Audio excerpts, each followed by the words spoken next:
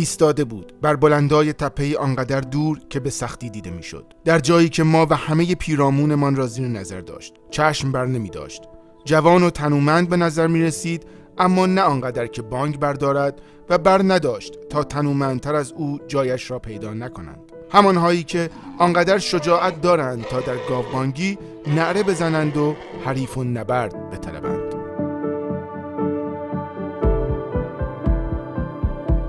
ما در پارک ملی گلستان هستیم. ذخیره گاهی ارزشمند در شمال غرب کشور.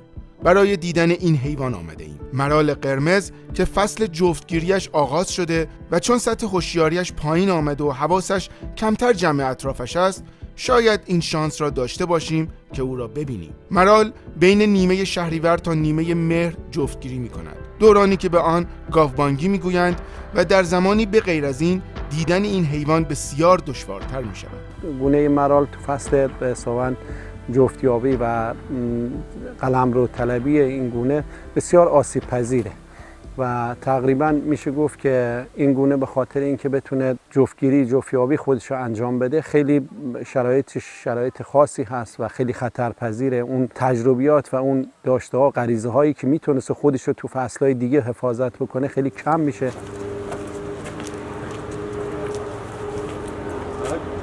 برای رفتن به سمت یکی از چادرهای محیطبانی پارک ملی آماده می‌شویم. در فصل گاوبانگی شکارچیان همه تلاش خود را می کنند تا مرال قرمز ایرانی را شکار کنند. جانوری که امروز در معرض خطر بوده و تنها شانس نجاتش تلاش تیم محیطبانی است. به خاطر اینکه بتونیم ذریب حفاظت ببریم بالا و این گونه ارزشمند رو حفاظت بکنیم و خدای نکرده افرادی که سوء استفاده می‌کنن و شکار غیر مجاز امکان داره این گونه رو از بین ببرن چادرها رو برپا می‌کنیم. به این نگاه که بتونیم تو این فصل یه خورده کمک بگیریم از امکانات و مشارکت های مردمی و دیگر امکانات بتونیم این گونه رو بیشتر حفاظت کنیم در این فصل.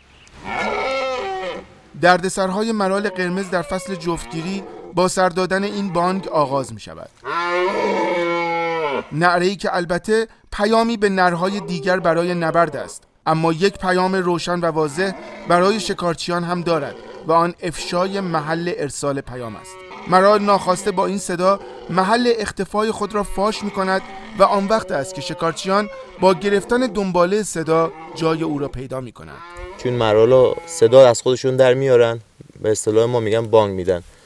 اینا می‌تونن راحت اینو شکار کنن اگه ما نباشیم. مخصوصا شبا خودشون صدای گاو در میارن که مرالا نزدیک میشن اینو راحت شکار می‌کنن. حدود 1.5 متر قد دارد. با شاخهایی که به 120 سانتی متر هم می‌رسند.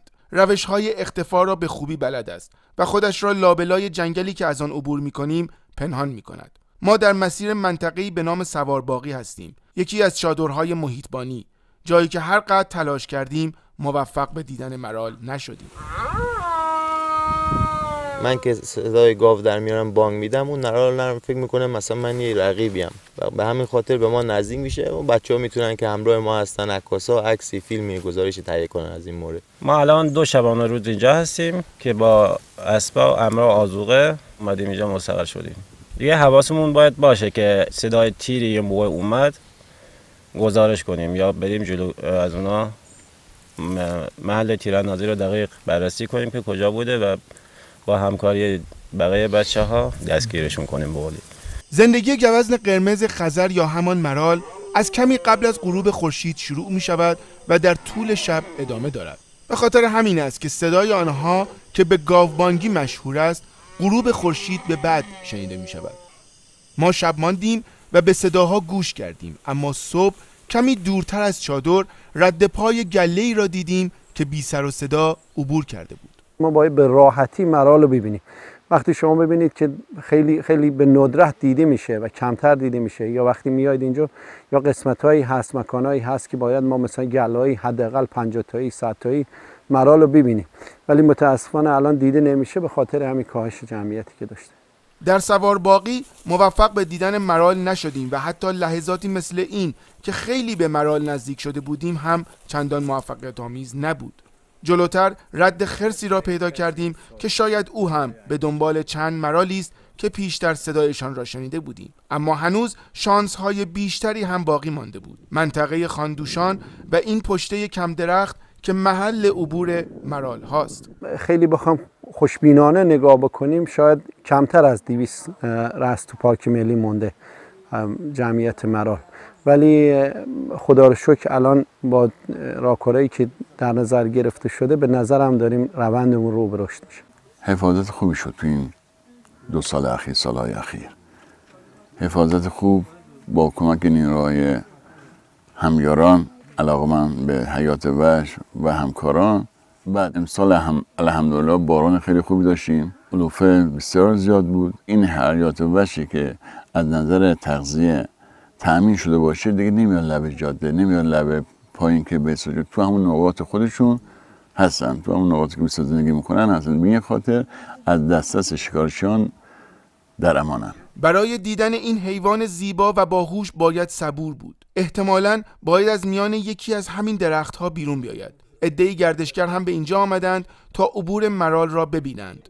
همه چشم دوختند اما نیامد. مهمان که میان چون که برای بعض شماره اولین بار که میان جب منطقه نمی‌دونم. خود نخواه مثلا با هم صحبت می‌کنن یا این صداشون ببرن بالا. خود خب وقتی که مرال صدایی بشنوه دیگه از اون نقطه دور میشه. مرال خاندوشان هم رخ نداد و تنها چند گراز از جایی که انتظار عبور مرال را داشتیم رد شدند. دیدن این حیوان لحظه به لحظه سختتر می شود اما قرار ملاقات گویا از ابتدا تپه دیگری بود. اینجا و در جمشید آباد یک مرال جوان آماده بود تا به ما سلامی کند.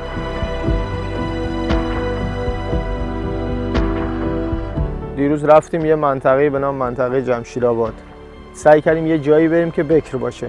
یعنی رفت آمدی نبوده باشه.